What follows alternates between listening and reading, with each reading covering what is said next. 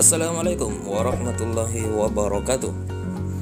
Pada kali ini saya akan menceritakan pengalaman saya pada waktu saya dan teman-teman berpetualang di Pulau Sempu Hari itu kami ngumpul-ngumpul di tempat biasa. Tanpa sengaja muncullah sebuah ide untuk mengadakan petualangan besar Yaitu berpetualang ke sebuah pulau yang saat ini lagi ngetrend di kalangan para pecinta alam Indonesia yaitu Pulau Sempu, sebuah pulau kecil yang tak dihuni manusia yang berada di sebelah selatan Pulau Jawa. Setelah mengadakan musyawarah, akhirnya kami sepakat untuk berangkat dari Pamekasan menuju Malang pada hari Jumat tanggal 30 Oktober 2015. Karena rencana kami ingin berpetualang, kami memutuskan untuk mengendarai sepeda motor pribadi karena menurut kami lebih seru kami berangkat berempat, jadi kami membawa dua sepeda motor saja, supaya di jalan ada teman untuk ngobrol dan bergantian nyetir. Waktu berjalan begitu tidak terasa dengan mengendarai motor seru-seruan di jalan sambil menikmati pemandangan yang indah selama di perjalanan. Akhirnya kami memutuskan untuk istirahat sejenak. Kebetulan banget perut juga sudah gak bisa diajak kompromi. Kami memutuskan untuk istirahat di Taman Dayu Pandaan. Kami istirahat sambil menikmati pemandangan di Taman Dayu yang juga tidak kalah indahnya. Setelah puas menikmati pemandangan di Taman Dayu, stamina juga sudah pulih. Kami memutuskan untuk melanjutkan perjalanan menuju Malang tanpa terminal lagi. Perjalanan makin seru dan makin asik. Sekitar jam 14.00 waktu Indonesia Barat, kami sampai di kota Malang. Saya mengajak teman-teman menuju ke rumah kontrakan adik saya yang kuliah di Malang. Kita istirahat di kontrakan adik saya untuk melanjutkan perjalanan selanjutnya besok pagi. Malamnya kami menikmati indahnya kota Malang sambil makan jagung rebus di alun-alun kota Malang yang terkenal indah dengan air mancurnya yang sangat menawan.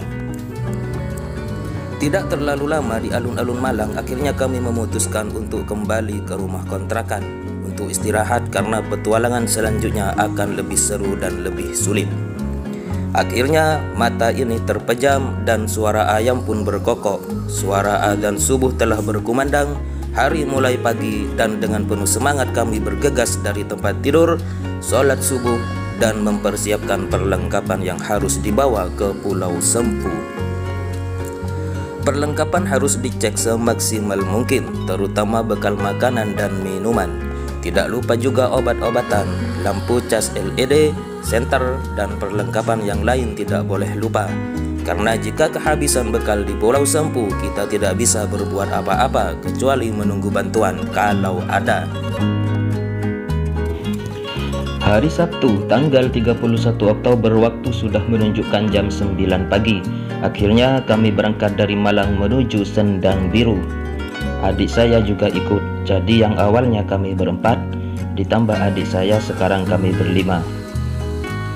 Perjalanan dari Malang ke Sendang Biru memakan waktu kurang lebih tiga jam. Namun perjalanan itu tidak terasa karena di perjalanan kami disuguhkan dengan bukit-bukit yang sangat menawan serta pemandangan alam yang begitu eksotis. Bahkan kami sempat berhenti beberapa saat untuk mengambil gambar. Momen yang sangat berharga tidak boleh dilewatkan walau hanya sedikit pun. Waktu terus berlalu, perjalanan ini kami nikmati dalam-dalam dan sekitar jam 12 siang waktu Indonesia Barat kami sampai di Selat Sendang Biru. Pemandangan Sendang Biru begitu eksotis. Dari bibir pantai Sendang Biru kita bisa melihat langsung Pulau Sempu yang berdiri gagah di seberang sana. Benar-benar sangat mempesona. Namun sebelum menyeberang kami harus melapor ke Balai Konservasi Pulau Sempu mengurus perizinan untuk masuk ke Pulau Sempu karena tidak sembarang orang bisa masuk ke pulau ini. Tidak terlalu rumit mengurus perizinan asalkan kondisi tubuh sehat karena membutuhkan tenaga yang ekstra untuk berpetualang di sana. Begitu mendapatkan surat izin, semangat dalam diri kami semakin berkobar. Pikiran dan hati selalu bertanya-tanya ada apa di dalam sana. Tanpa buang waktu lagi kami menyewa perahu mesin. Let's go! Air laut yang bening sambil menikmati pemandangan bawah laut yang sangat menyejukkan mata, akhirnya kami tiba di Pulau Sempu. Pulau yang selama ini ada dalam khayalan dan imajinasi kami akhirnya kini menjadi kenyataan. Namun petualangan bukan hanya sampai di sini. Petualangan yang paling berat kita harus berjuang dengan berjalan kaki melewati hutan rimba dan melewati kurang lebih tiga bukit untuk sampai ke Segara Anakan. Yang kabarnya Segara Anakan ini merupakan surga yang tersembunyi di balik Pulau Sempu. Sebelum memasuki hutan, lebih baik beristirahat sejenak mengembalikan stamina tubuh. Peralatan dan perlengkapan dibagi rata beratnya. Kasihan kalau salah satu teman ada yang terlalu berat untuk membawa karena perjalanan di dalam hutan kita akan mendaki dan menuruni bukit dengan tebing yang curam. Di sini kebersamaan, persahabatan, dan kekompakan akan sangat terasa. Jangan merasa gengsi untuk mengatakan lelah. Jika lelah, lebih baik istirahat dulu. Hati-hati dan jangan sampai tersesat. Di Pulau Sempu ini sama sekali tidak ada sinyal masuk. Alat komunikasi termasuk handphone yang kami bawa hanya berguna buat dokumentasi saja. Lelah, letih, pegal, dan sebagainya kami rasakan. Bayangkan saja kami berjalan menyusuri hutan selama berjam-jam. Semakin jauh masuk ke tengah rimba, rasa putus asa semakin membayangi kami dari belakang. Namun, keinginan untuk sampai ke segara anakan jauh lebih kuat. Indahnya segara anakan yang kami dengar dari cerita orang selalu menggantung di depan kening kami. Dan akhirnya dengan susah payah jam 14.00 waktu Indonesia Barat kami sampai juga ke segara anakan Rasa lega, puas dan bangga ketika kami sampai di Segara Anakan. Keindahan Segara Anakan bukan hanya dongeng belaka, rasa lelah dan pegal semuanya terbayar ketika kami sampai di Segara Anakan. Sungguh pemandangan yang sangat alami, sejuk, indah dan permai. Pantas saja sebagian orang menjulukinya surga yang tersembunyi di balik pulau Sempu. Sore itu kami istirahat sejenak sambil makan siang. Kerjasama mendirikan tenda. Setelah semuanya selesai, termasuk pendirian tenda, semua barang dimasukkan dalam tenda, sementara kami mencari sensasi karena kami tidak ingin menikmati keindahan segara anakan hanya dengan duduk manis, menunggu senja lalu tidur kami menemukan tantangan baru dengan mendaki Bukit Karang yang mengelilingi Segara Anakan. Pendakian Bukit Karang ini tidak sia-sia. Kami dapat melihat langsung Samudra Hindia dengan ombaknya yang begitu besar dan indah seolah-olah menunjukkan betapa agung ciptaan Allah Subhanahu wa taala dan tidak ada satu makhluk pun yang mampu menandinginya. Subhanallah, kami pun dengan hati yang penuh sukacita menikmati angin samudra di atas bukit karang. Dengan santai menikmati betapa agungnya ciptaan Allah Subhanahu wa taala yang menguasai langit dan bumi beserta isinya. Sujud syukur kami panjatkan kehadirat Allah Subhanahu wa taala karena atas izinnya kami bisa menginjakkan kaki di tempat ini, di surga yang tersembunyi ini di segara anakan.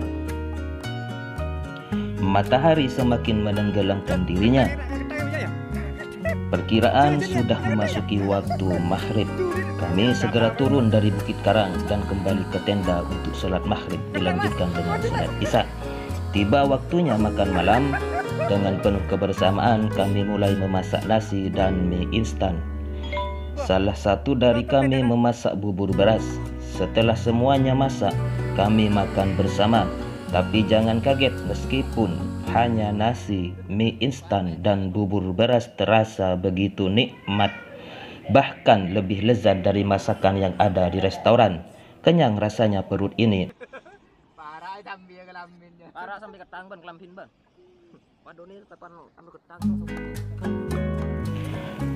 Menghadapi malam yang sangat gelap, sepi, dan sunyi yang ada hanyalah suara ombak laut kidul yang terdengar sangat menakutkan.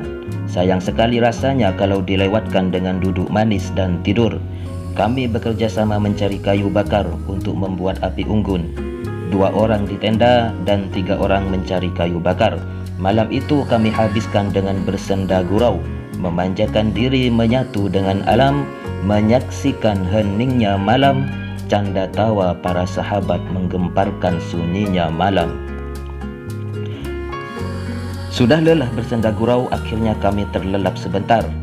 Tanpa terasa, perkiraan waktu sudah mendekati subuh dan hari pun mulai pagi. Pagi itu, suasana segara anakan lebih eksotis dengan datangnya para monyet lokal yang jumlahnya ribuan, melompat-lompat di atas bukit karang dan pepohonan, Bahkan kera jenis lutung juga ada dengan jumlah ribuan, menambah indahnya suasana pagi. Menyiapkan sarapan pagi sambil memberi makan monyet-monyet benar-benar sangat menyenangkan. Puas mencari sensasi, hari mulai panas dan kami juga harus kembali beraktivitas. Akhirnya di hari itu, hari Minggu tanggal 1 November 2015, kami memutuskan untuk pulang, membereskan tenda dan berkemas-kemas. Dan ingat salah satu prinsip pecinta alam sejati, jangan tinggalkan apa pun kecuali jejak. Jadi sampah juga harus dibungkus dan dibawa pulang kembali untuk menjaga keindahan segara anakan.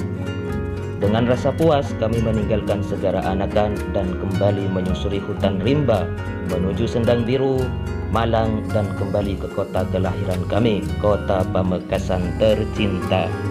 Petualangan besar yang sangat berkesan di hati kami, perjalanan yang sangat sulit untuk dilupakan dan sangat indah untuk dikenang.